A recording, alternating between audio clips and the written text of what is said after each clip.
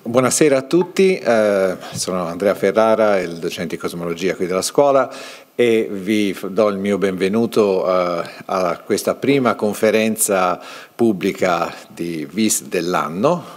La nostra attività è già iniziata da un paio di mesi e continuerà quindi nel resto dell'anno e do anche il saluto a tutte le persone che ci stanno seguendo da casa in streaming, che so che sono sempre molto numerose e, e quindi vorrei, eh, per chi di voi ancora non conosce VIS, anche se vedo molte delle persone che ci gratificano sempre della loro presenza costante e noi siamo molto orgogliosi di ciò, abbiamo degli aficionados, ma abbiamo anche delle persone nuove, quindi eh, volevo eh, indicarvi e, eh, per, una, per avere tutte le informazioni sul programma VIS, che è il programma di outreach della scuola, eh, al nostro sito che vedete scritto in fondo a questo manifestino, che comunque è vis.sns.it e VIS è, fa, comprende sia queste conferenze sia anche tutta una serie di altre attività che eh, potrete eh, vedere sul, sul, sito e alle quali siete ovviamente invitati a partecipare, sono tutte pubbliche, alcune richiedono una registrazione, altre no, però sono comunque tutte gratuite e aperte al pubblico.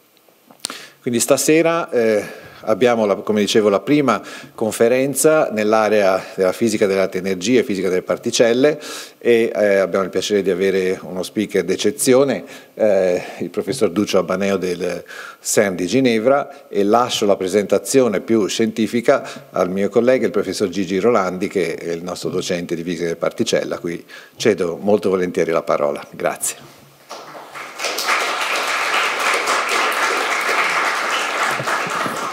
Grazie Andrea, buonasera a tutti, è un piacere vedere la sala piena. E è anche un piacere presentare Duccio. Duccio Abaneo. È stato studente della scuola normale e come molti ex studenti della scuola tornano qua con piacere a rivedere questi posti. Dove hanno passato ore di studio matto e disperatissimo. E il, si è laureato eh, all'Università di Pisa e, eh, e alla scuola con il professor Lorenzo Foà e eh, a quel tempo lavoravamo insieme sull'esperimento Aleph, di cui eh, Duccio poi mostrerà qualche cosa sicuramente, e poi ha passato un periodo uh, all'Imperial College a Londra e in questo, la, la, la, parte finale dell'esperimento Aleph lui si è occupato specialmente della fisica del, dei, uh, dei quark pesanti e ha fatto i primi studi sulle oscillazioni del, del, uh, dei B, del BS che era, allora era un'utopia a misurare, però eh, sicuramente sono state un, alcune delle misure più belle fatte all'EP. E, e poi ha partecipato sin dall'inizio all'esperimento CMS. Abbiamo lavorato assieme per un lunghissimo periodo sulla costruzione del primo tracciatore di CMS e eh, da qualche anno Duccio è responsabile della costruzione del nuovo tracciatore, che è un progetto di parecchi anni di cui sicuramente vi parlerà durante la sua conferenza.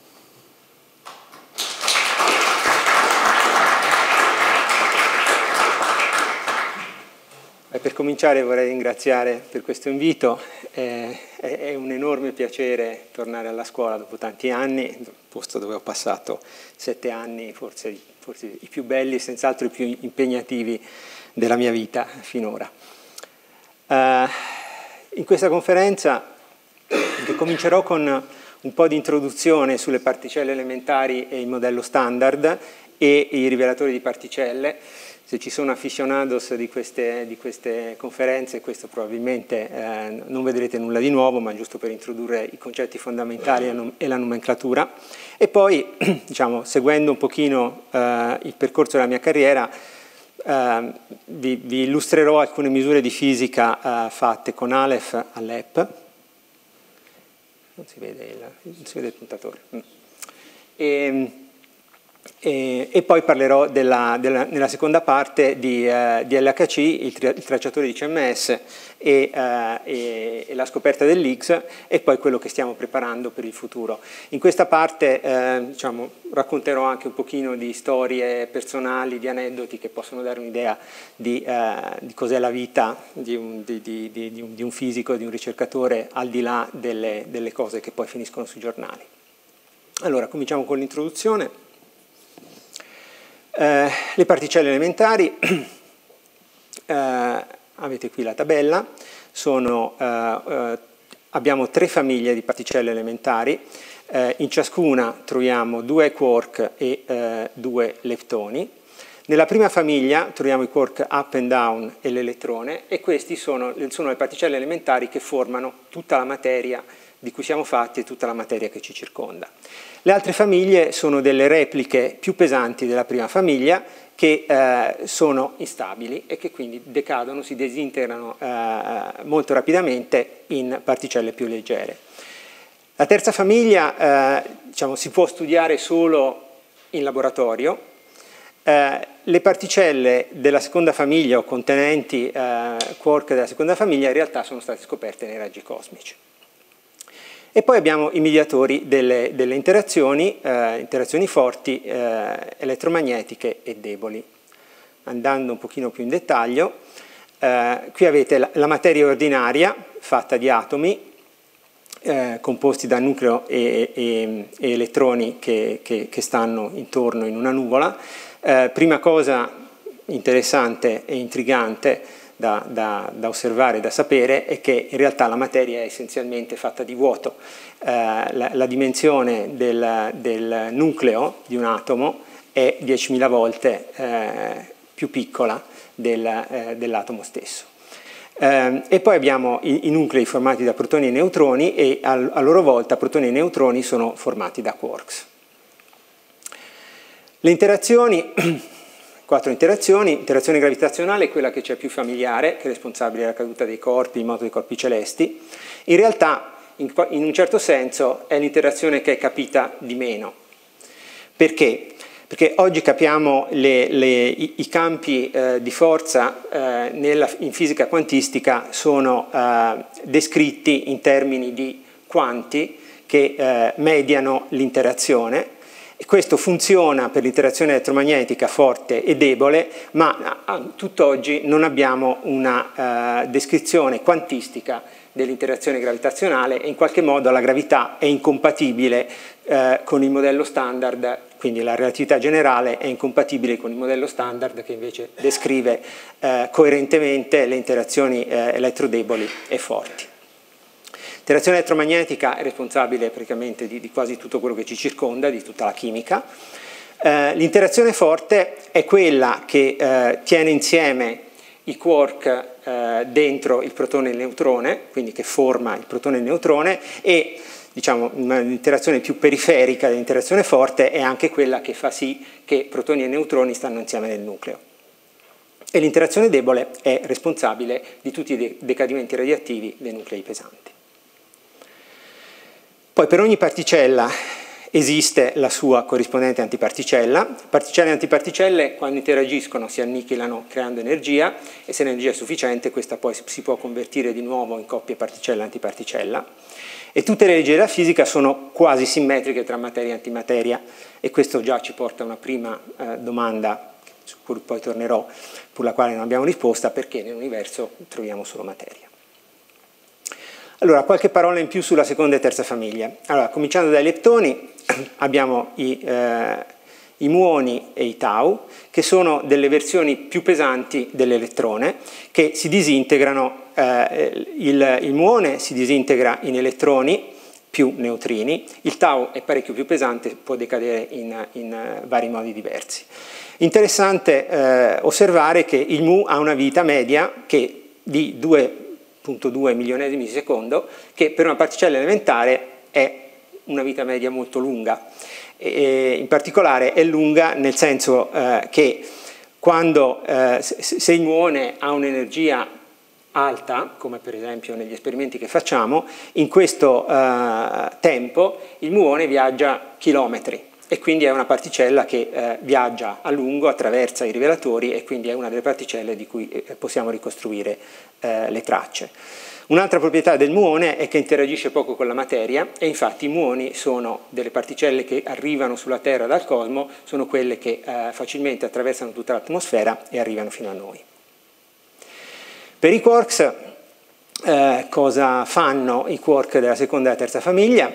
Beh, si possono combinare eh, in barioni, esattamente come il quark up e il quark down, e fanno delle versioni più pesanti eh, di per esempio protoni e neutroni, che poi decadono nella versione più leggera. Eh, un'altra particella che si, che si fa, eh, un'altra famiglia di particelle che si formano con i quark sono stati legati di quark-antiquark, che si chiamano mesoni.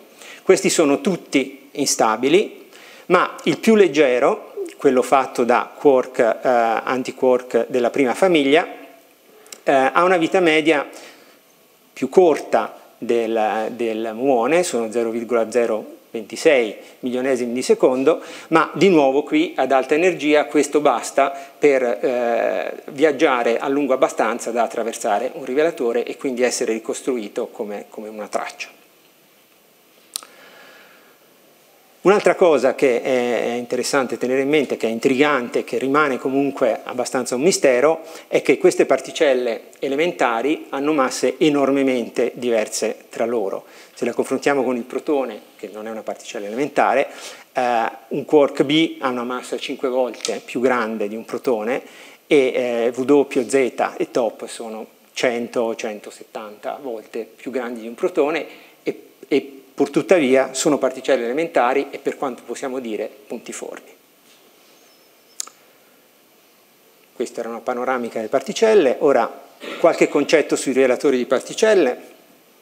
Quindi cosa si vede di tutte queste particelle veramente dentro un rivelatore? Si osservano le particelle stabili, quindi o quelle stabili veramente, come per esempio l'elettrone, oppure quelle che hanno una vita media abbastanza lunga, che viaggiano per, un, per, un, tratto sufficientemente lungo da, da attraversare il rivelatore e, e, poter interagire con la materia del rivelatore. È sparito? Problema. Quindi, dicevamo, um, osserviamo quelle che viaggiano abbastanza da interagire col rivelatore. Quindi, um, per le particelle cariche, gli elettroni che sono stabili e i muoni che, come abbiamo detto, viaggiano a lungo, eh, per gli hadroni eh, i pioni, eh, stati legati eh, quark-antiquark leggeri e poi alcuni eh, anche eh, stati che contengono il quark S, mesoni K, e poi i protoni che sono stabili. Per gli hadroni neutri i neutroni e di nuovo alcuni mesoni K e poi i fotoni. Ora, come si osservano queste particelle? Si osservano facendole interagire con il materiale del rivelatore. Si può pensare al rivelatore come una specie di gigantesca macchina fotografica eh, digitale, pixellata, in certe parti effettivamente pixellato, eh, e che è sensibile però non solo ai fotoni, macchina fotografica, i pixel vede, cioè, interagisce con il il fotone che arriva interagisce col pixel e poi la macchina fotografica ricostruisce l'immagine. Qui eh, facciamo la stessa cosa, eh, solo che i diversi strati sono sensibili ai diversi eh, tipi di particelle e poi di nuovo eh, i, i pixel vengono accesi dal passaggio delle particelle e poi si ricostruisce un'immagine di tutte le particelle che sono passate. Da notare, i neutrini non interagiscono nel rivelatore, quindi quelli sono sempre persi, e a volte si possono ricostruire come energia mancante, se uno sa a priori qual è l'energia totale che deve uscire da un'interazione e se uno è sicuro che il rivelatore non ha buchi, non ha pezzi che non funzionano, eh, dalla, dalla, dall'energia mancante uno può inferire quanto, quanti neutrini sono andati via, quanta energia è andata via ai neutrini. Ora, chiaramente tutte queste particelle sono ben note da tanto tempo, quindi non è quello che vogliamo studiare. Le particelle che veramente vogliamo studiare sono quelle che si sono disintegrate in quelle e quindi eh, le, si studiano eh, guardando i loro prodotti di decadimento. In un rivelatore eh, quello che si fa è che si fanno interagire le particelle in sequenza secondo un certo ordine ben preciso. La prima parte di un rivelatore è tipicamente, in particolare dei rivelatori che, che, che ci interessano a, a, noi oggi, è quello che si chiama un tracciatore. Il tracciatore, che è un po' il filo conduttore in qualche modo de, de, della mia carriera, eh, è la parte del rivelatore dove si ricostruiscono le traiettorie delle particelle cariche.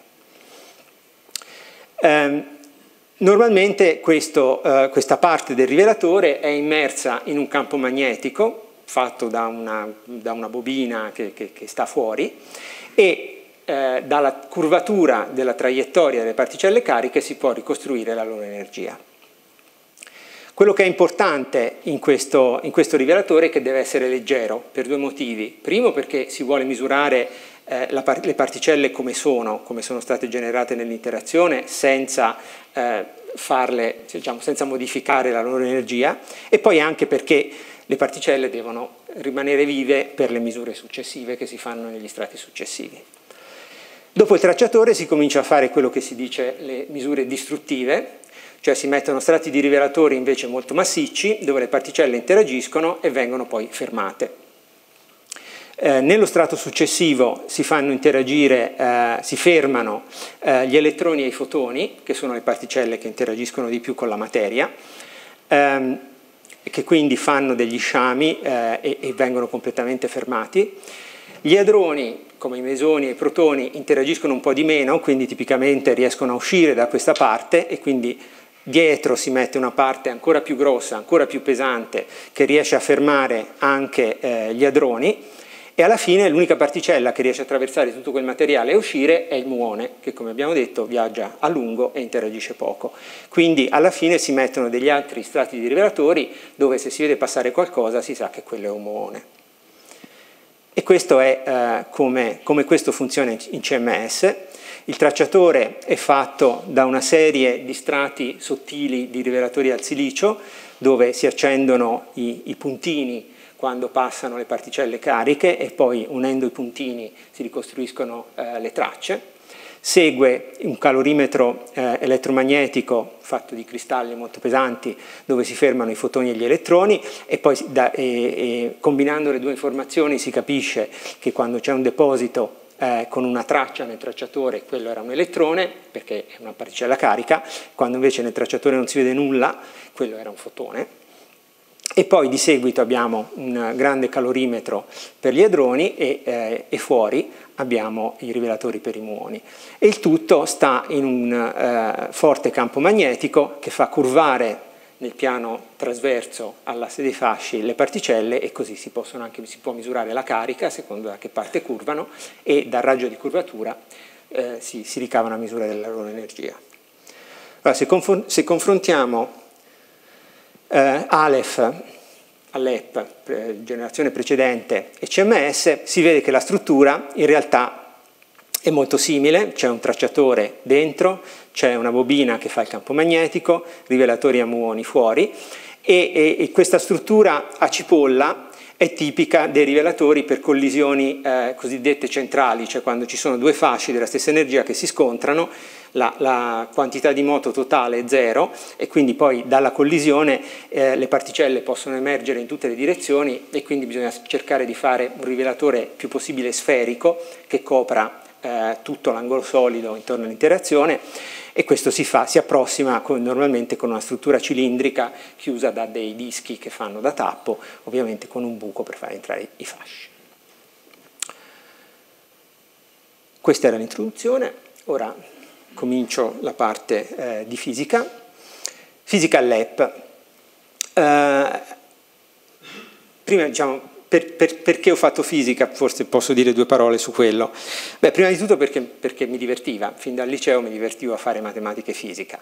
Um, in realtà al liceo mi divertivo di più a fare matematica, ma poi ho capito che mi divertivo di più a fare matematica semplicemente perché se ne faceva di più, non ce n'era di più e mi divertivo di più. E poi è stato anche grazie alla mia insegnante, che era una matematica, beh, è una matematica, è in pensione, eh, addolorata di non aver fatto fisica, che alla fine mi sono reso conto che in realtà la fisica mi, mi interessava di più.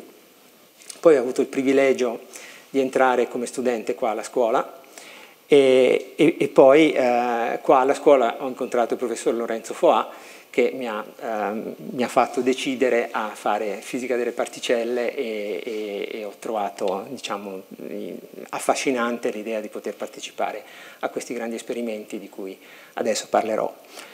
Eh, io ho, ho, cominciato a lavorare la mia tesi nel 90 e questo diciamo, arrivava nel momento in cui eh, il LEP aveva cominciato a produrre collisioni più e meno e c'erano i primi dati da, da, da poter analizzare, quindi stava partendo l'analisi di questi dati. Eh, a cosa serviva il LEP? Il problema di fisica del LEP era, di fare, era veramente di studiare in maniera dettagliata il modello standard. I, budoni, i bosoni W e Z erano stati scoperti nella decade precedente eh, da Rubbia e, e questa, questa, macchina è, è, aveva come compito di studiarli veramente in dettaglio con misure di precisione. Quindi prima eh, produrre eh, collisioni al, all'energia corrispondente alla massa della Z e poi dopo aumentare l'energia sopra due volte la massa del W in modo da produrre coppie W più W meno e poi nella fase finale aumentare l'energia più possibile, quanto possibile eh, all'EP nella speranza di scoprire l'X. Ora, eh, venendo alla, alla, prima parte, dove io ho cominciato a lavorare, eh, la Z cosa fa poi? La Z decade in tutte le coppie eh, particella-antiparticella che ci sono, eh, eccetto il top che è troppo pesante. E, e quindi eh, diciamo, il, la, la, lo scopo fondamentale era di misurare le proprietà della z, quindi per esempio i rapporti, la frequenza in cui la z decade in ciascuna di queste particelle, la distribuzione angolare e così via. Però al tempo stesso eh, poi queste particelle, per esempio il, i, i, quark pesanti, producono eh, adroni con quark pesanti che non erano mai stati studiati prima, quindi l'EP è stata anche una fabbrica di particelle con quark eh, C e B che prima non, che non si conoscevano e che quindi sono stati studiati per la prima volta. Come si vedono queste cose nel rivelatore? Eh, in realtà molto bene, molto semplice. Qui avete un decadimento della z in mu più mu meno, si vedono due particelle che vanno da parti opposte, che lasciano i puntini nel tracciatore e poi attraversano, lasciano puntini anche in tutti i calorimetri, qui sono compressi i calorimetri, ed escono fuori chiara segnatura di un, di un muone. Eh, quando la Z decade in elettrone nel tracciatore si vede la stessa cosa e poi c'è un grande deposito di energia nel primo calorimetro e poi non c'è niente, ah, niente che esce. Il tau, come detto, può decadere in vari modi, qui da una parte abbiamo un tau che decade in tre particelle, dall'altra parte abbiamo un tau che è decaduto eh, in elettrone. E poi invece quando la Z decade in quark antiquark, i quark hanno la proprietà, che è una proprietà delle interazioni forti, che non possono esistere come particella libera.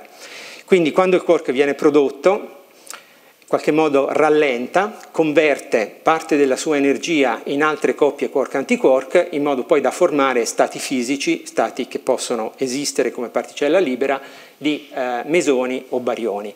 E quindi un, un decadimento in quark-antiquark della Z ha eh, questa, questo aspetto qua, con parecchie particelle da una parte e dall'altra che vengono dall'adronizzazione dei quark. La mia tesi di laurea, di laurea, è stata la misura della simmetria del decadimento della Z in BB bar. Eh, questo è un parametro, eh, è una misura importante nel, nel, modello standard perché è una cosa che si può calcolare nel modello standard e che dipende proprio dai parametri fondamentali del modello, quindi è una verifica eh, quantitativa importante del modello. Um, il modello standard ci dice che nel decadimento della z in bb barra il b mh, va di preferenza, nella prosegue nella direzione dell'elettrone entrante e il b barra va dall'altra parte. Ora, questa, siccome un decadimento in quark ha quell'aspetto lì, la, la, la, misura non è eh, completamente facile, come si fa a riconoscere un decadimento in BB barra?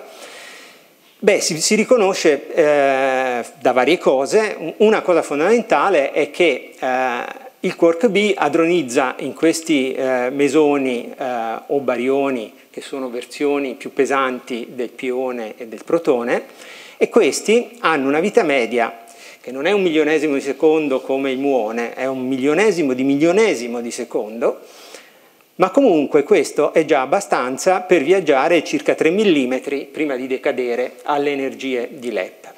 Ora, 3 mm non si misura la traccia perché il primo puntino della traccia che c'è nel rivelatore è molto più lontano. Però, se la traccia è misurata molto bene, quando poi si estrapola indietro, si può vedere che in un decadimento di un, di un mesone B, non tutte le tracce vengono dallo stesso punto dove c'è stata la collisione più e meno, ma alcune tracce vengono da un, un po' più in là.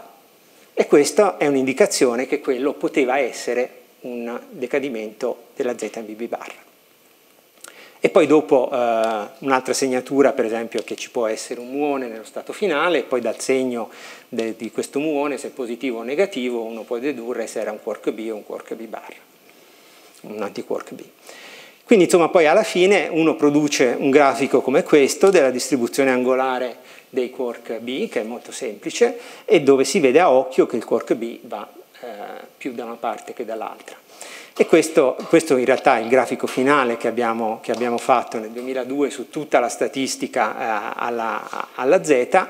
E il, primo grafico che ho prodotto io nel 1990 su una manciata di dati eh, dava una misura del 18% più o meno 10, quindi con un errore enorme, ma eh, comunque me lo ricordo ancora quando quello è successo e forse sono stato, forse sono stato la prima persona che ha, che ha prodotto un grafico dove si è visto una, un sospetto di asimmetria avanti e indietro del quark B.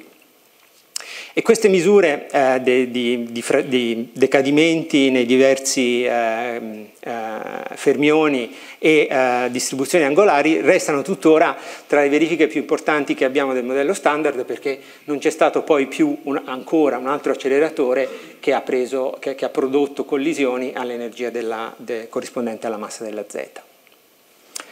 Ora, come aveva già eh, annunciato Gigi, una sfida speciale eh, all'EP è stata la misura, che poi alla fine non abbiamo fatto, de, delle oscillazioni del mesone BS. La mesone BS è, una, è um, di nuovo una versione del, più pesante del pione che è fatto da una combinazione di quark B e antiquark S o viceversa. Questo, eh, questa particella ha la, ha la proprietà che quando viene prodotto, per esempio un BS che viene prodotto come BS, eh, durante la sua vita, prima di decadere, cambia continuamente natura tra BS e BS barra, con una certa frequenza. Quindi questo è quello che si chiama l'oscillazione. Quindi eh, un, eh, un, BS prodotto come, come tale in funzione del tempo può decadere eh, o come BS o come BS barra e così via con una frequenza molto alta. Ora, questo, eh, questo, di nuovo è un parametro che si calcola nel modello standard e che si voleva verificare sperimentalmente. Ora però per misurare, misurare una cosa del, genere è estremamente difficile perché in più a riconoscere che questo, quel decadimento adronico era effettivamente un B, poi uno deve riconoscere cercare di conoscere che è un BS, poi distinguere il BS dal BS barra al momento in cui è decaduto, che si fa eh, guardando i prodotti di decadimento. Poi uno deve anche cercare di capire se era un BS o un BS barra quando è nato, quando è stato prodotto, che si può fare guardando le tracce associate eh, al vertice primario oppure guardando il B dall'altra parte. Ma poi quello che è più difficile è che siccome questa oscillazione è molto veloce in tempo, uno deve misurare il tempo che la particella ha volato prima di decadere molto precisamente, perché se la misura è meno precisa della frequenza di oscillazione, qui si, si, si, si cancella tutto e non si vede più nulla. E questo chiaramente era, non era fattibile con eh, i rivelatori che avevamo all'EP. Ovviamente quando una cosa è impossibile viene voglia di farla, più una cosa è impossibile più viene voglia di farla, e comunque per, riuscire a fare qualcosa, eh, in Aleph eh, è stato inventato un, me un metodo, diciamo, un grafico così chiaramente non si può fare perché uno non riesce a collocare eh, sull'asse dei tempi eh, gli eventi con sufficiente precisione, allora è stato inventato un metodo diverso, quello che, cioè invece di cercare di misurare la frequenza, eh, usare una frequenza di prova e misurare l'ampiezza dell'oscillazione se la frequenza fosse quella. E l'idea è che se la frequenza è sbagliata, uno misura ampiezza uguale 0 e se uno è alla frequenza giusta dovrebbe misurare ampiezza uguale 1. E in questo modo, se uno prova, comincia con frequenze eh, di test eh, basse, si sapeva che la frequenza deve essere alta, uno comincia a misurare 0 e fin tanto che uno misura 0 con un errore sufficientemente piccolo che può dire che è 0 e non è 1, quell'intervallo di frequenze è escluso, è sicuramente non buono, il che diciamo, è già un'informazione molto utile. E quindi eh, diciamo, si producevano questi tipi di plot in cui poi uno può anche combinare insieme misure diverse fatte da esperimenti diversi e, eh, e, e ottenere un, una media mondiale. E c'era questo articolo qua, fatto da due fisici di Aleph, che era la Bibbia di questo metodo detto delle ampiezze, che spiegava tutto, tutto questo concetto.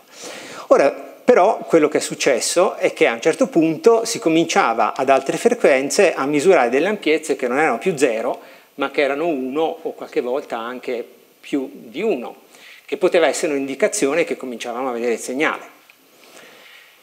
Però c'erano eh, dei problemi, perché mentre era chiaro, e poi con l'andare del tempo e con le misure che miglioravano, la cosa diventava sempre più evidente, si cominciava a vedere anche delle, delle, dei valori che cominciavano a non essere più tanto compatibili con zero, quindi un sospetto di segnale. Però non era chiaro come quantificare se questo era veramente, quanto era significativo il segnale o se poteva comunque essere una fluttuazione. E poi non era chiaro cosa succedeva poi per frequenze più alte, cioè quando si, si misuravano valori addirittura più alti di 1, era l'analisi sbagliata o cosa, cosa doveva succedere per poter dire che effettivamente l'avevamo misurato, si doveva vedere tornare l'ampiezza a zero per valori più alti oppure no. Tutto questo non era chiaro e questo articolo sembrava indicare che l'ampiezza dopo il valore giusto doveva tornare a zero. Poi un giorno viene a trovarmi uno studente francese che, che lavorava nel gruppo, eh, che stava finendo la sua analisi, stava scrivendo la tesi e quindi stava mettendo a posto tutti i conti eh, per, bene per scrivere la tesi. Mi dice, ma hai provato a rifare i conti di questo articolo? Dico, ma no, no, scusa, non di questo articolo, di questo articolo. Dico, no, non ho provato, ho guardato, ho guardato le conclusioni, l'hanno fatti loro i conti, eh, ci fidiamo. Eh, ma io ho provato e non, non mi riescono, prova di più. Eh, dice no, ma secondo me non torna, è sbagliato. Vabbè, vai, vai, vai. E, e però lo studente era bravo e mi aveva messo il dubbio e poi una domenica mi sono messo a rifare i conti, ho imbrattato un monte di carta e effettivamente i conti non tornavano. Ma poi c'era un'altra studentessa catalana molto brava, ci siamo messi a guardare la cosa insieme e in effetti ci siamo convinti che in quell'articolo c'erano delle assunzioni, si, delle approssimazioni che non si applicavano al nostro caso, in cui la risoluzione della misura del tempo non era buona abbastanza, cioè era, era, non era buona rispetto alla frequenza dell'oscillazione.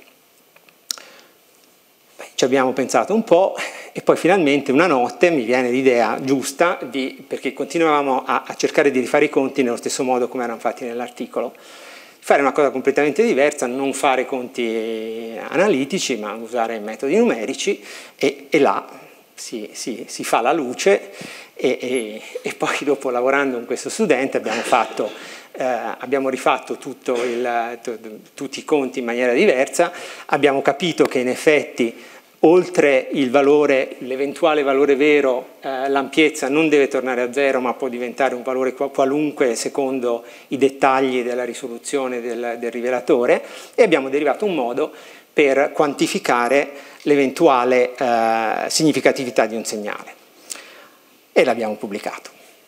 A quel punto avevamo tutti gli strumenti per provare a fare la misura e quindi ci siamo messi a cercare di migliorare l'analisi per cercare di avere la, la la risoluzione sufficiente e abbiamo fatto una misura che da sola era buona quanto eh, la media mondiale fino a quel momento, che ha provocato un po' di gelosie negli altri esperimenti LEP.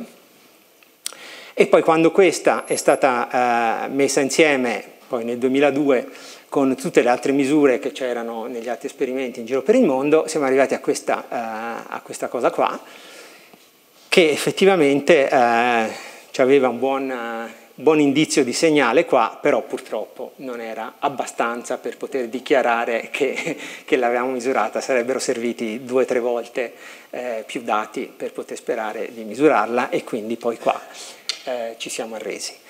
E, e poi eh, dopo negli anni successivi eh, CDF eh, in America, ha, ha, Tevatron ha ricominciato a produrre collisioni e finalmente la, la, la, cosa è stata misurata da CDF ed era esattamente nel punto dove vedevamo eh, l'eccesso.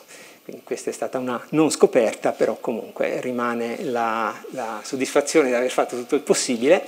E, E poi per, per, per, per il piacere di, vi mostro cosa fa oggi eh, a LHC, l'esperimento LHCb, che è un esperimento dedicato alla fisica del B, e loro non usano il metodo delle ampiezze perché hanno una risoluzione nel tempo che è meravigliosa e quindi possono semplicemente fare il grafico degli eventi che, eh, che ricostruiscono come oscillati e quelli non oscillati e, e questo è quello che vedono che, che dimostra che, che beh, una generazione più tardi di esperimenti, quello che ha fatto perdere il sonno a decine e decine di fisici prima per poi non riuscirci, adesso c'è un plotter come questo che, che è una meraviglia. Ora passo alla seconda parte. Eh, dopo, dopo, aver fatto tutta questa, questa, fisica dei corpi pesanti, che poi alla fine ho cominciato da studente e ho finito eh, poi come coordinatore del gruppo, Uh, a un certo punto uh, Gigi mi ha proposto di andare con lui a lavorare, un, a lavorare su, uh, su, CMS per costruire il tracciatore, che è stata per me un'esperienza nuova perché appunto fino a quel momento avevo fatto analisi dati. Beh, siamo in ritardo, forse questa parte, se vogliamo stare nei tempi, devo saltarla. Forse salto la scoperta dell'X, che questa la, sicuramente l'avete già sentita tante di quelle volte, che eh, quella possiamo saltarla. Um, giusto due parole sul, sul rivelatore di, di CMS. Il, al momento è il rivelatore di silicio più grande che sia mai stato costruito. Uh, io sono stato responsabile della costruzione di questa parte, eh, della parte cilindrica centrale, vedete qua la posizione eh, in tre dimensioni dei, dei, dei, rivelatori al silicio, e sono eh, 15.000 moduli, 10 milioni di strisce nella parte eh, esterna e poi nella parte interna dove la densità di tracce è più alta c'è un rivelatore pixelato fatto a pixel che ha 66 milioni di pixel. Eh, qui vedete alcune eh, figure della eh, foto della, della, costruzione, queste eh, sono, parte, eh, sono mh, strutture della parte in cui ero responsabile io, vedete la, la, la struttura meccanica su cui poi venivano montati i moduli eh, e poi queste venivano inserite in una struttura meccanica di supporto, qui vedete fibre ottiche e poi alla fine quando tutto era completato era così, questa è, la, è la, la, parte dove poi veniva inserita la parte interna e qui vedete cavi e fibre ottiche che vengono fuori. E poi alla fine il tracker è stato inserito in CMS, vedete, con tutti i cavi eh, arrotolati alla fine e poi dopo in tre mesi eh, è stato eh, collegato alla, ai, ai servizi esterni. Allora, saltiamo il bosone di X. Sì, ecco, confesso che non sono andato al seminario in cui è stato annunciato, l'ho seguito da remoto perché era il 4 luglio, quindi ci sono gli studenti estivi a Cerna e c'era la gente che ha dormito lì fuori, che ha fatto la coda e quindi l'ho visto con gli altri ragazzi, con gli altri ragazzi del gruppo, l'abbiamo visto in una sala a riunioni e vabbè, però è stato, è stato, un, è stato, un, momento, è stato un momento emozionante. Uh, vi dico invece qualcosa sul, sul futuro. Eh, ora, il, il, modello standard funziona benissimo, però lascia aperti eh, enormi problemi che, che, ovviamente richiedono un'estensione della teoria. Eh, ne elenco alcuni, i più importanti. Eh, la materia oscura. Sappiamo dall'osservazione de della rotazione delle galassie che nell'universo c'è molta più materia di quella che conosciamo. L'energia oscura. Sappiamo che l'universo si espande, il fatto che si espande nonostante la gravità vuol dire che contiene energia e contiene una quantità di energia che è molto più grande di quella, di quella che conosciamo e di quello che ci aspettiamo dal modello standard. E si stima che eh, 5% eh, è la massa ordinaria, 25% è materia che non conosciamo e poi c'è un addizionale 70% di energia di una natura che non conosciamo. Eh, e la cosa intrigante è che il modello standard spiega magnificamente bene questo 5%, tutte le misure che si fanno, misure di precisione, tornano perfettamente con le, con le predizioni del modello standard, ma non c'è niente nel modello standard che ci, che ci aiuta a spiegare il rimanente 95%.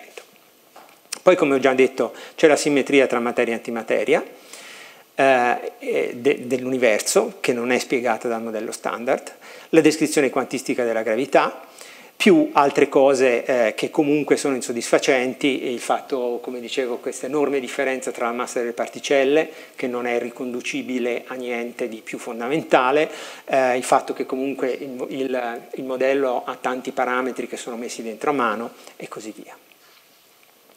Allora, cosa faremo oltre l'HC? Beh, ci sarà una nuova fase di LHC dopo il, che partirà dopo il 2025 in cui eh, verrà aumentato di molto la eh, quantità di collisioni che l'acceleratore produce.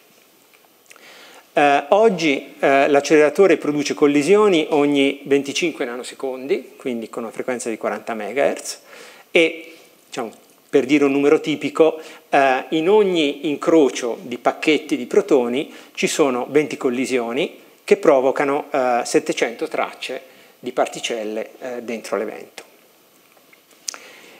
Di tutto, di tutto, ciò produce poi una frazione molto piccola di eventi interessanti che poi bisogna essere capaci di, eh, di selezionare.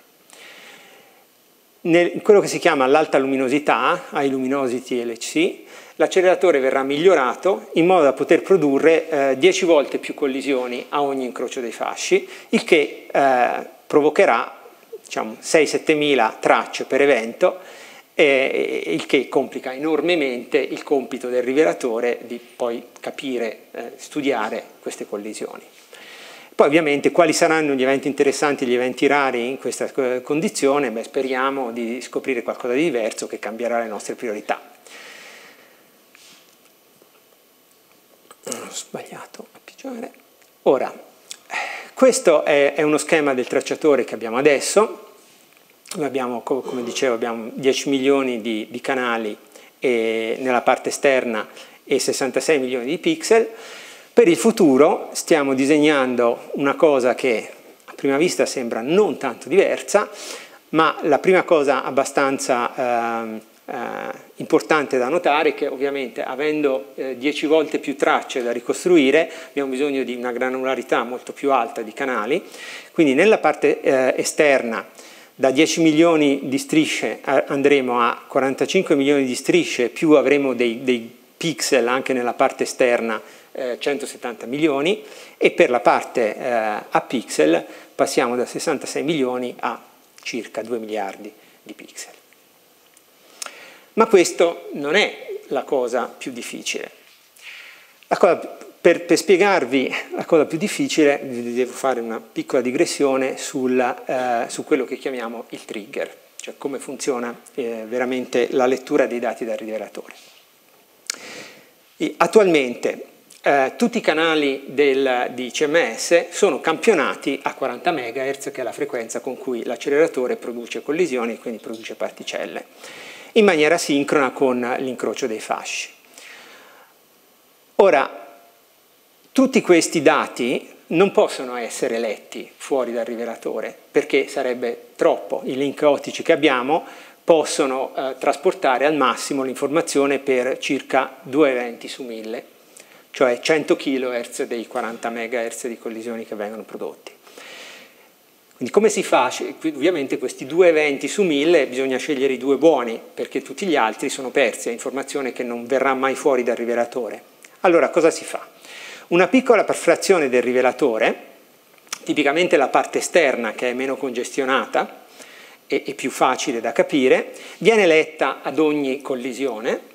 Questa informazione viene analizzata molto rapidamente per cercare di capire se la collisione era interessante o no e poi una, una decisione, cioè un segnale che decide se, se, la collisione era interessante o no, viene mandato indietro al rivelatore. Nel rivelatore ci sono delle memorie che tengono lì i dati per un po' e se la decisione arriva in tempo, poi la collisione giusta viene letta fuori e questo è quello che si chiama il trigger. Ora, eh, Questo sarà molto più difficile ad alta luminosità perché gli eventi sono molto più complicati con molte più particelle. Allora quello che, che pensiamo di fare è di aumentare il tempo a disposizione per questa decisione, quindi avere delle memorie più lunghe in modo che c'è più tempo di fare una ricostruzione un po' più eh, accurata. In ogni caso alla fine leggeremo fuori più dati di quelli che facciamo adesso. E poi quello che è importante è che per fare questa ricostruzione abbiamo più tempo, ma abbiamo bisogno anche di più informazione.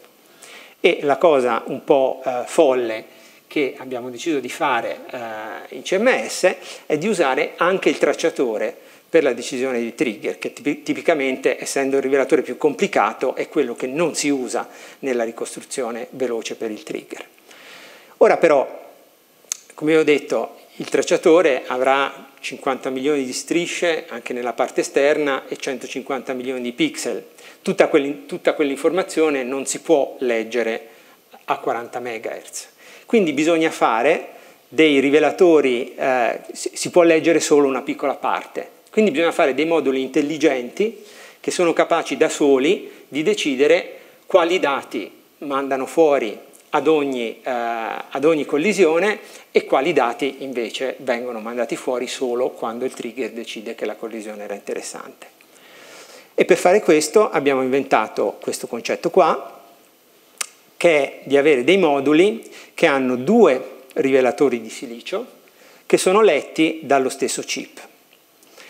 E nello spazio che c'è tra i due rivelatori di silicio, la particella nel campo magnetico curva e possiamo separare le particelle che curvano poco, che sono più energetiche, dalle particelle che curvano tanto, che sono meno energetiche, e mandare fuori solo i segnali delle particelle più energetiche.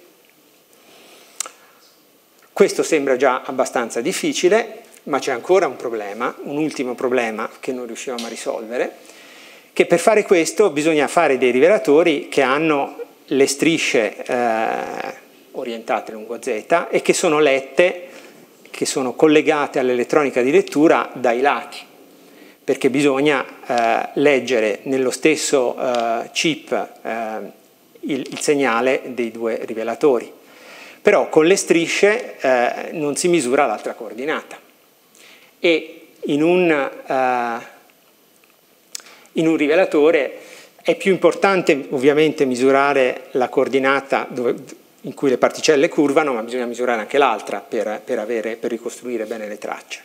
Quindi c'era bisogno anche di un rivelatore intelligente a pixel. Ora, il problema di un rivelatore intelligente a pixel è che i pixel non si possono leggere da un lato, bisogna leggerli su tutta la superficie. Il, le, le, strisce si leggono con questi filini, microfilini che si chiamano wire bond.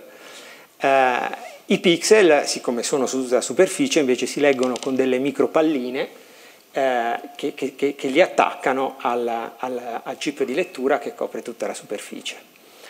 E quindi per poter fare un, un modulo intelligente, quindi con due sensori collegati e con dei pixel, eh, prima del 2011 avevamo delle cose così, con eh, due mh, mm, silici, eh, due sensori, eh, un circuito nel mezzo collegato con queste micropalline sopra e sotto e questo come tecnologia è difficilissimo e poi quello che è peggio è che se poi uno vuole fare, avere dei sensori abbastanza spaziati per poter ricostruire bene la curvatura, questo diventa un mattone e quindi il tracciatore diventa estremamente pesante.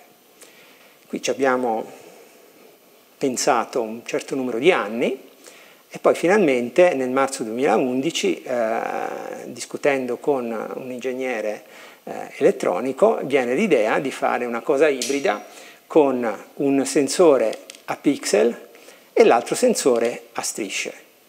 In questo modo si misura sempre eh, la coordinata z e l'altra coordinata da una parte sola e però in questo modo si riesce a fare la connessione al bordo e lasciare lo spazio vuoto in mezzo ai due.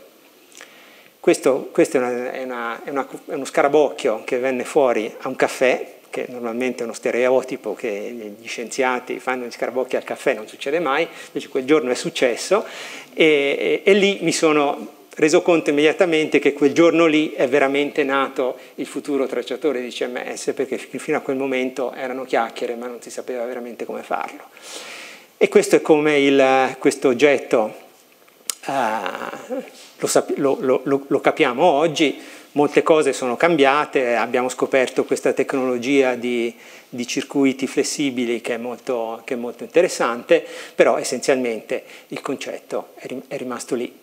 E, ehm, e questo è stato, è stato, un momento diciamo, di, di, emozionante anche questo, però più difficile da condividere con altri perché cioè, è rimasta un po' la frustrazione che lì, cioè, io mi sono accorto che quel giorno è nato il futuro tracciatore di CMS, ma me ne sono accorto solo io. Eh, e poi dopo, vabbè, abbiamo anche inventato tante altre cose, come per esempio questa struttura meccanica con, eh, con, i, con i, moduli pro progressivamente inclinati che, che, nessuno ha mai fatto prima. Eh, giusto due parole per concludere come si costruiscono queste, questi rivelatori, queste collaborazioni. Questa è l'organizzazione che avevamo per i diversi compiti di assemblaggio, costruzione per il tracker attuale. Vedete è una cosa completamente folle. Eh, se guardate i, i, nomi qui abbiamo eh, America, abbiamo tanta Italia e il resto d'Europa c'è una, un, una, cosa esotica eh, da qualche parte, c'è un piccolo Islamabad, che in realtà è una cosa che è stata, che è stata iniziata da Gigi. E futuro tracciatore stiamo facendo una cosa molto simile, con in, aggiunta alla complicazione che abbiamo eh, anche contributi grandi da India e, e Pakistan, eh, ci sono circa 300 fisici ingegneri al momento attivi, sparpagliati eh, in tutti questi paesi, 15 paesi, che dovranno aumentare se vogliamo essere capaci di costruirlo. E il tutto è una meravigliosa collezione di tecnologie innovative soluzioni che non sono mai state usate prima eh, una collezione di persone di culture diverse eh, sparpagliate su 12 fusi orari, quindi anche trovare un, un, momento per fare una riunione in cui tutti possono partecipare non è banale. Non c'è nessuna struttura gerarchica perché tutte queste persone dipendono da istituti diversi, da, da paesi diversi e quindi eh, alla fine ehm, che facciano quello che gli viene detto è una cosa che eh, rimane sempre da verificare e una logistica impossibile perché eh, in tutti questi posti la gente vuole avere qualche attività locale e quindi finiamo per spedire cose a destra e a sinistra eh, in, in, tutto il mondo, ma comunque pensiamo che alla fine ci riusciremo come è sempre stato il caso finora. Allora, per concludere, eh, queste, questa serie di conferenze si chiama La scoperta mi ha cambiato la vita. Uh, le scoperte sono, sono o, o, anche le, sono momenti chiaramente di gioia, la scoperta dell'Higgs è stato un, un, grande, un grande, momento di, di, gioia condivisa. In realtà quello che cambia, che cambia, la carriera più delle scoperte sono gli incontri con persone speciali.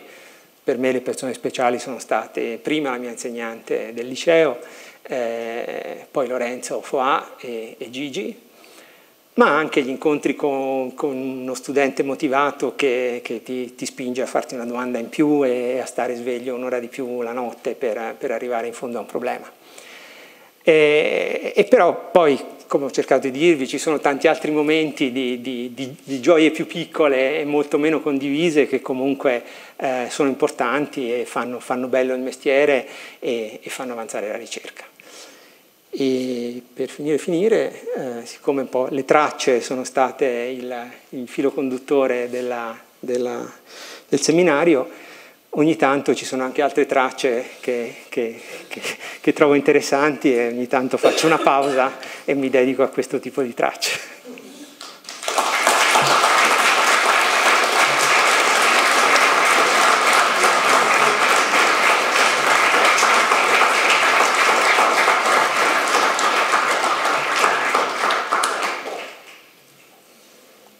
Eh, buonasera, io sono Marco Valdes, coordinatore del progetto VIS. Voglio ringraziare voi tutti per essere qui stasera e ringraziare Duccio Abano per la bellissima presentazione che ha fatto capire sicuramente un po' a tutti voi eh, cosa, cosa, si fa al CERN, cosa fa un ricercatore al CERN e così il percorso di una scoperta, una non scoperta, insomma, veramente grazie per aver colto lo spirito di VIS appieno. E faccio molto rapidamente due piccoli annunci prima di passare la parola a voi per, per fare domande al uh, Duccio Abaneo. E il primo è che subito dopo le domande c'è un, un cocktail che ho eh, offerto a tutti voi proprio nella sala qui eh, di fronte, quindi uscite dalla sala azzurra e nella sala di fronte che è la sala del Gran Priore c'è un breve rinfresco. E poi eh, così vi dico rapidamente, la prossima conferenza è l'8 febbraio e il tema sarà la biologia, il professor Alessandro Cellerino della, della scuola normale ci parlerà della, di una sua scoperta. E, mm, ok, vi rinnovo eh, l'invito fatto prima dal professor Ferrara a controllare eh, sulla pagina web di, di VIS eh, le, le, novità e vi potete anche registrare mettendo la vostra email e riceverete tutte le notizie sulle, sulle attività di VIS. E adesso passo la parola a voi, per, sicuramente ci saranno domande per il professor Abbaneo. Le domande vanno fatte col microfono. Sì, eh, lei ha toccato incidentalmente il eh, problema materia-antimateria. Ora, eh, sappiamo che l'interazione materia-antimateria è distruttiva, però quello che non mi è chiaro, io non sono un addetto ai lavori, eh, pre- preciso, eh, quando un elettrone incontra e viene in contatto con un antielettrone, eh, si produce energia e vengono annichilate le particelle. Così un protone con un antiprotone dà luogo a una eh, interazione distruttiva. Ma cosa succede quando un elettrone viene in contatto con un antiprotone? Succede lo stesso oppure le particelle devono essere corrispondenti? E perché? Allora, no, l'annichilazione avviene solo tra particella e antiparticella della, de, la corrispondente antiparticella. E poi un'altra cosa da, da, tenere presente, che eh, avevo, ma è una delle cose che, su, su, cui ho sorvolato, che eh, le particelle che si annichilano sono particelle elementari. Il protone non è una particella elementare. Quindi, per esempio, eh, quando facciamo le collisioni eh, protone-protone ehm, a LHC, ma sarebbe lo stesso se facessimo protone-antiprotone, che, che, sono le collisioni che, che, si, che, si, facevano al Tevatron in America. Eh, la collisione di alta energia in realtà non si sa veramente cosa succede perché nel protone ci sono, dentro il protone ci sono i quark legati da, da, da, in, un, in, un, mare di gluoni. Quindi quando si fanno eh, scontrare queste strutture complesse come due protoni o un protone e un antiprotone, in realtà con una certa probabilità quello che, che si fa è una collisione tra quark che succede con una certa probabilità e poi quando succede non si sa eh, quanta è effettivamente l'energia che era trasportata in quel momento dal quark eh, da una parte e dall'altra. E quest- questa è una differenza importante tra le collisioni più o meno, che sono particelle elementari, e una collisione protone-protone. In una collisione di particelle elementari, particella-antiparticella, si sa esattamente l'energia della collisione, che è la somma delle energie delle due particelle, mentre in una collisione protone-protone o protone-antiprotone è una, è, una, è una, distribuzione statistica perché non, non si sa una per una non si sa che collisione sta veramente succedendo a livello elementare. E comunque l'annichilazione è solo tra particella e antiparticella dello stesso tipo. Domande? Eh, certamente esistono. Eh, il, il, diciamo, non, non c'è niente nel, nel modello standard o, o, nella fisica che conosciamo che eh, vieta eh, la, la, ehm, diciamo, di aggregare eh, sta, eh, i quark in maniera più complicata. Eh, l'unico vincolo, cioè il vincolo è che la, la combinazione deve essere tale che il colore totale deve essere zero. quindi come diciamo, le, le, le combinazioni diciamo, più normali, quelle che si riescono a, a produrre e studiare in maniera relativamente facile, eh, sono i mesoni e i barioni, quindi quark antiquark o tre quark.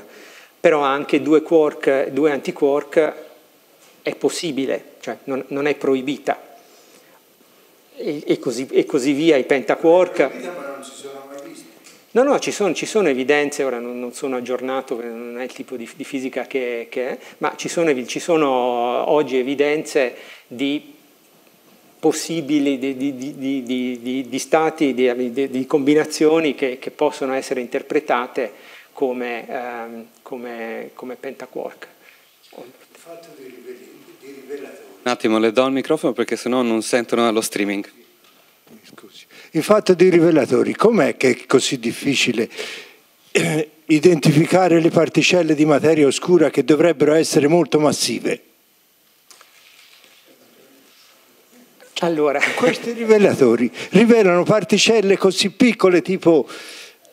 No, le, le particelle, come dicevo, le, le, le, particelle in un rivelatore si vedono, tra virgolette, perché interagiscono eh, col rivelatore stesso. Cioè, il rivelatore quando viene attraversato per esempio da un muone o da un elettrone, se è un rivelatore di un certo tipo, la particella crea un segnale elettrico dentro il rivelatore che poi si legge, quello è un puntino e poi si uniscono i puntini e si fa la traccia.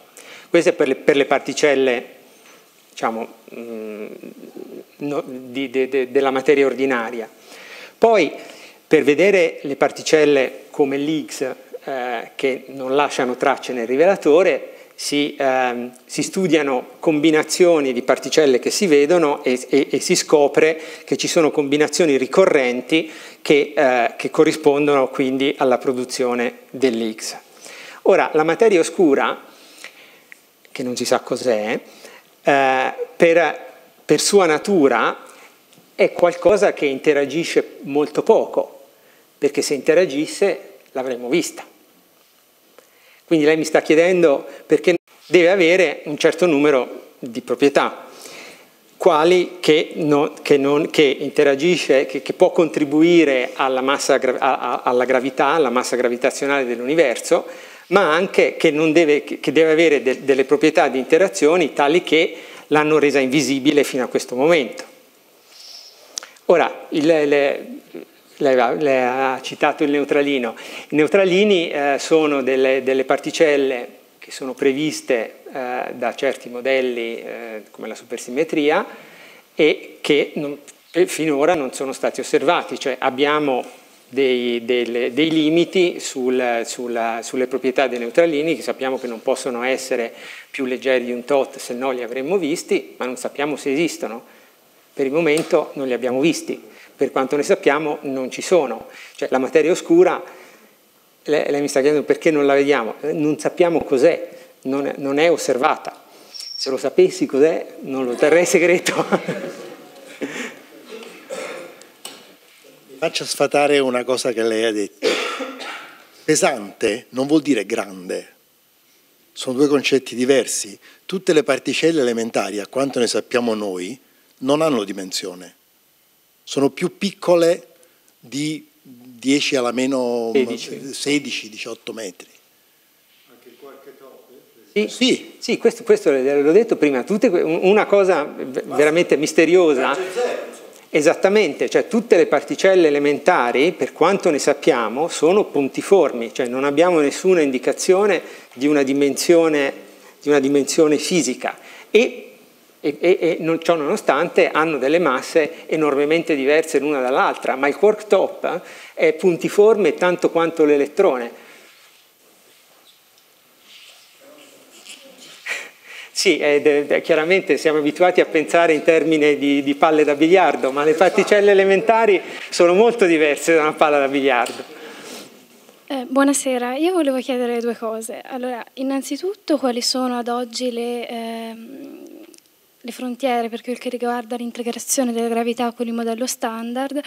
E poi eh, probabilmente questa è una considerazione molto sciocca perché insomma, però essendo la gravità una forza che ha raggio d'azione infinito non dovrebbe essere il gravitone una particella avente massa zero o comunque molto piccola E poi volevo chiedere anche, eh, ho saputo qualche tempo fa che eh, all'esperimento AMS del CERN sono stati fatti dei rilevamenti sulla materia oscura, eh, però non sono più riuscita a trovare niente dopo aver appunto avuto questa notizia, perché ho preso degli appunti molto confusi e quindi volevo chiederle se poteva eh, dire due parole anche su questo, insomma. Grazie. Eh, eh, penso che su questo ci, forse c'è qualcuno in sala che ne sa più di me. Dunque, per, per, il gravitone, sì, il gravitone eh, appunto dovrebbe avere massa zero, sì, eh, però non, esiste, non, non c'è una, una, teoria quantistica della gravità eh, che funziona. La relatività generale funziona, tutti, tutto quello che, che, che, eh, che, siamo stati capaci di misurare finora sulla gravità eh, è, è compatibile, è spiegato dalla relatività generale e, e, però non abbiamo una teoria eh, quantistica della, della gravità che, eh, che, che, sia coerente e che, che eh, possa riprodurre eh, i risultati sperimentali. Quindi questo è, è tutto quello che, so dire sulla, sulla, sulla gravità. Eh, per quanto riguarda i risultati di AMS non li conosco. Eh, per quel che riguarda insomma, sempre il gravitone, no? ma eh, come si pensa di poterlo trovare andando sempre a più alte energie, se a più alte energie si vanno a cercare particelle con massa maggiore se il gravitone ha massa zero? Il gravitone è stato misurato. Cioè il gravitone, diciamo, come c'è un'onda, un'onda elettromagnetica che sono dei fotoni, così ci sono delle onde gravitazionali che sono gravitoni. Eh, quindi la, la, rivelazione delle onde gravitazionali che, hanno, che fatto, hanno fatto Virgo e Ligo è stata la prima indicazione di, in laboratorio di aver visto un'onda gravitazionale e quindi un gravitone nella stessa maniera con cui uno dice c'è un'onda elettromagnetica e c'è un fotone. E per quello che riguarda AMS, eh, l'esperimento AMS ha misurato dei flussi eh, di di eh, varie particelle e in particolare ha misurato flussi, vuol dire quante particelle uno vede per un secondo per unità di superficie, ha misurato i flussi in funzione degli elettroni e dei positroni in funzione dell'energia dell'elettrone e del positrone. E questi flussi misurati con estrema precisione da questo bellissimo esperimento che è sulla stazione spaziale, eh, mostrano un andamento che a tutt'oggi non è completamente capito.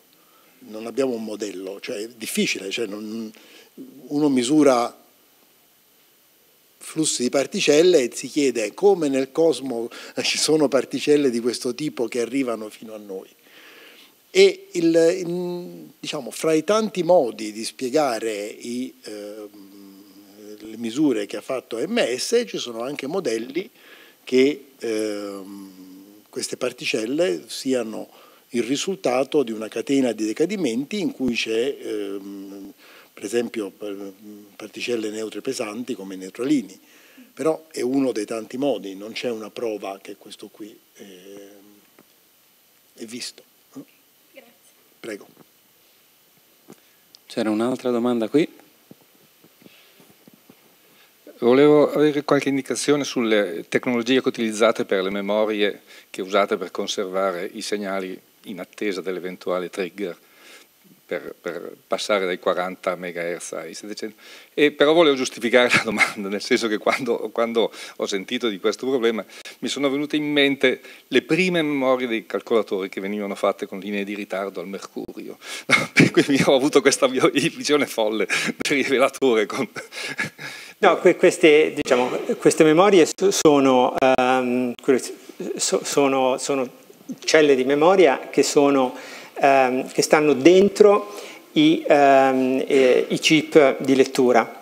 Quindi que quello che succede è che il, il rivelatore, uh, per esempio il rivelatore a silicio, quando viene attraversato da, da, da, un, da una particella carica produce una, un, segnale, uh, un, segnale, elettrico, questo viene uh, letto è amplificato dal chip di lettura, viene tipicamente digitizzato in modo da, da essere trasformato in, ogni, in, un, in, un, numero e poi c'è una, una memoria locale nel, dentro il chip di lettura che ha una certa lunghezza e in cui questo, questo numero eh, viene conservato.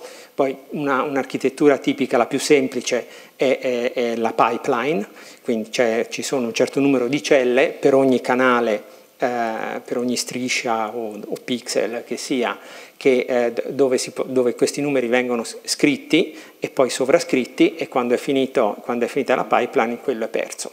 E prima di, di, di, arrivare in fondo a questa, a questa fila di, eh, di celle, eh, bisogna che arrivi l'informazione che quella cella lì contiene eh, un'informazione interessante e, e, e quel numero viene letto fuori prima che sia perso. Ultima domanda.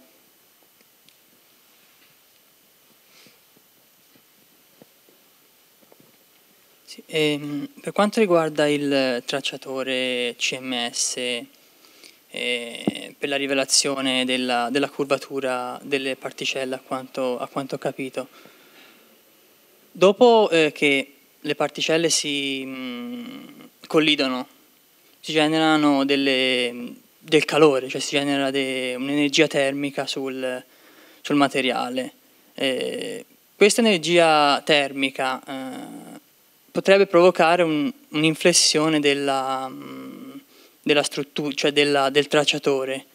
E non, non, ho capito com'è che controllate questo, questo, fenomeno che magari può influenzare la, la corretta rivelazione de, de, delle particelle. Sono sicuro di aver capito la domanda, a cui rispondo a, diciamo, posso dare a, a, alcuni eh, concetti. Eh, non so se riesco ancora a proiettare le... Prendiamo per esempio, eh, per esempio questa figura qua. No, perché non...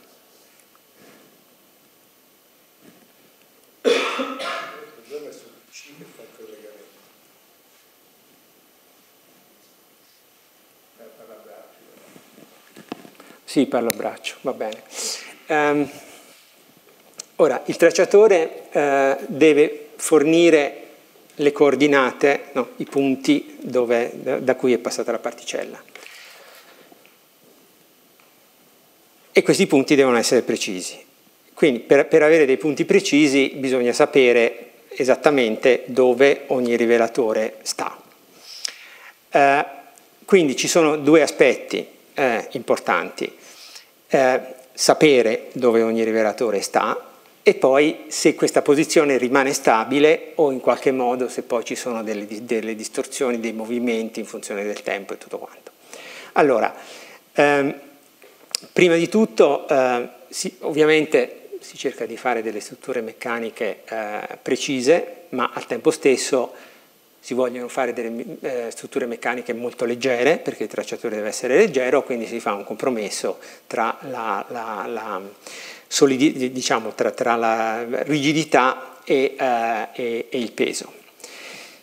In ogni caso, la posizione vera, quindi c'è una posizione nominale in cui da disegno ogni modulo deve stare, però poi in ogni caso la posizione vera in cui ogni modulo sta si ricostruisce a posteriori proprio dalle tracce delle particelle.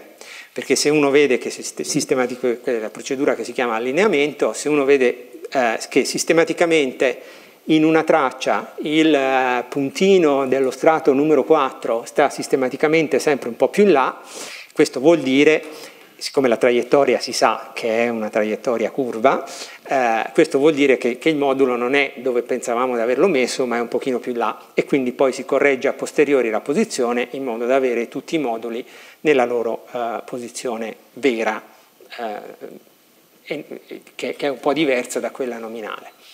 Poi ovviamente si vuole poi che questa posizione sia stabile, se per qualche motivo ogni tanto le posizioni cambiano perché magari quando si apre e chiude il rivelatore per, fare, per, per, per eh, riparare qualcosa e poi la, si è un po' mosso, si rifà la procedura di allineamento, ma ovviamente la procedura di allineamento non è che si vuole fare ogni mezz'ora, si può fare idealmente due volte all'anno.